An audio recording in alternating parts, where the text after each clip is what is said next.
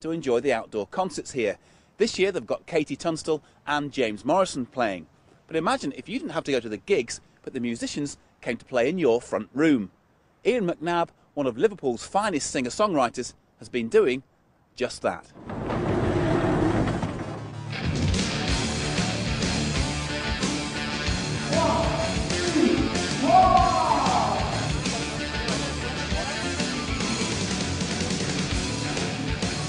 Academy in Liverpool is preparing for a gig by one of the city's favourite sons.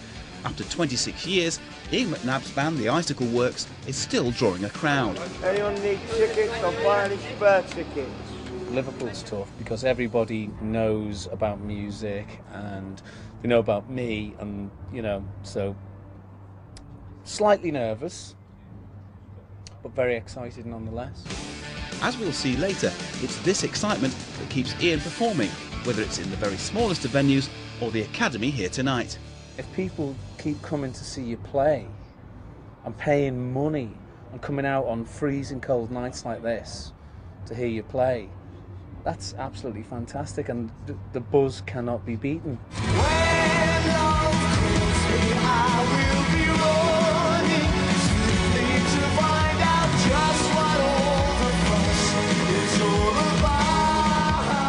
Icicle Works scored hits on both sides of the Atlantic and were part of the early 80s post-punk explosion of Liverpool bands. You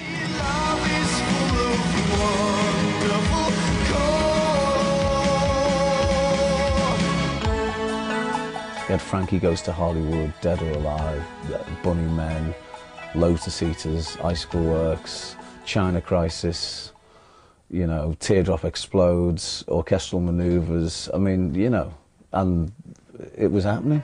It was great.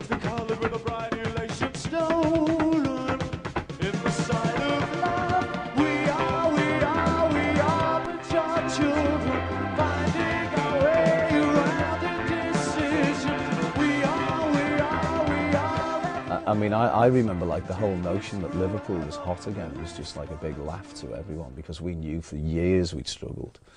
You know, you'd send off demo tapes to London. You know, you'd just write London on an envelope and stick a demo tape in it and send it.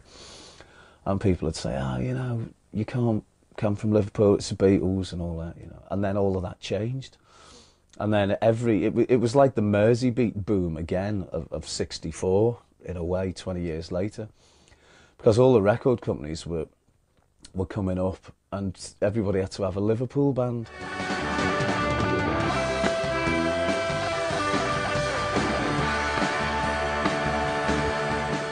Appeal has endured for more than 25 years, and tonight the Academy's packed with his fans.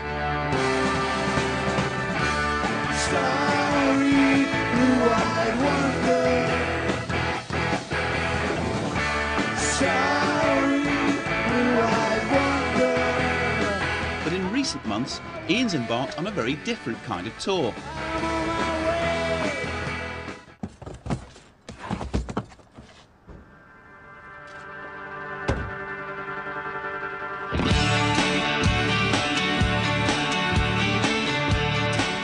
Time, it's just Ian, his guitar, and a friend, Paul, for moral support, as they don't know what the evening has in store. Um, we've got Trina and Julius, and it's a birthday party for friends for Julius, who I believe was 40 last week. Right, so are they fans or what? I think Tonight, Um, I think he's in vibe is a Cambridge, bit of a playing at the home of a fan whose wife contacted Ian through his website. When uh, the Icicle Works played in London last year, we had trouble parking, and we were the band. And I just realised how much of a, a fag it was for people to come to concerts these days. What with the, the price of tickets and parking and congestion charges and babysitters and all that kind of stuff. So I just came up with the idea of going around and, and, and playing in people's houses. You know, I can afford to do it for a lot less than it would for me to go on the road properly. Um, and they get a very personal show. It may be less hassle for Ian and his fans, but playing in strangers' houses does come with its own worries. You, c- have you seen that film Misery? Yeah. Sometimes I'm frightened that I'm going to turn up. And there's going to be some mad fans, and they're just they just want me to turn up so they can kidnap me and torture me. It could well happen. Well, it hasn't happened yet, but that doesn't mean that it won't happen in the future, you know. So um, it, it's a bit scary. Well, these guys seem okay. I don't think these guys are going to kidnap you. So. Okay. This is the worst part. I have to walk up to somebody's door that I don't know and knock a door. I don't know anybody that's in there, even though they've asked me to come. And um, it's a little bit nerve wracking because I don't know what's going to be on the other side of that door. So let's see what happens. Okay.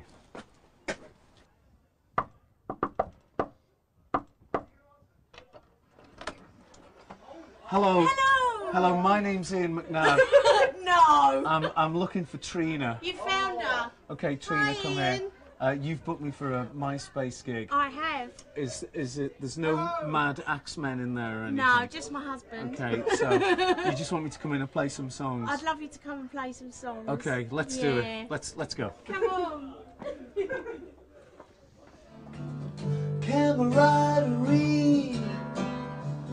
There's something special between you and me.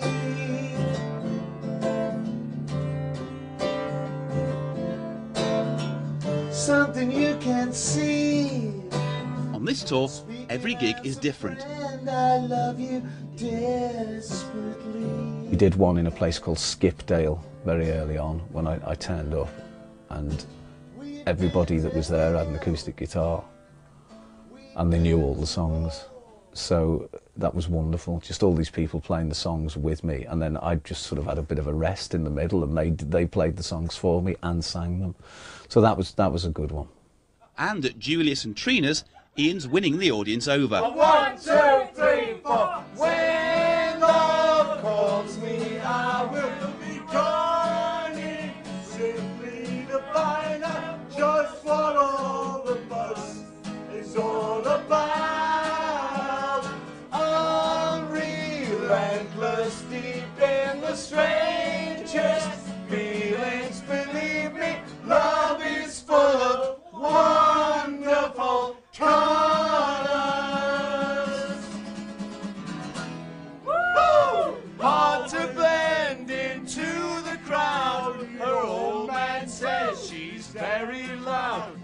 Brilliant. So Ian's very good value. Whatever he does, he's always fantastic. And tonight, brilliant. Wear a coat, left or right. I think the fact that he's very approachable and you always feel like, if you even if you're in the audience at a big gig, you do feel like you're connected with him all the time as well. You do very much feel like you're part of it, not just an audience member. You do feel like you're engaging with him really closely. It's, it's so weird. I've got to be honest. Bizarre it's and bizarre and fantastic. fantastic. yeah. Crazy stuff. And I'm free. This is plan to be. It's a long way from a kitchen in Cambridgeshire to the Liverpool Academy, but for Ian, it's all about the music.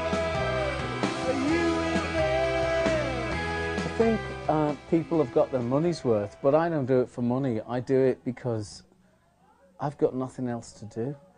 I just love playing music, and if I can go around to people's houses and do this, jobs are good. And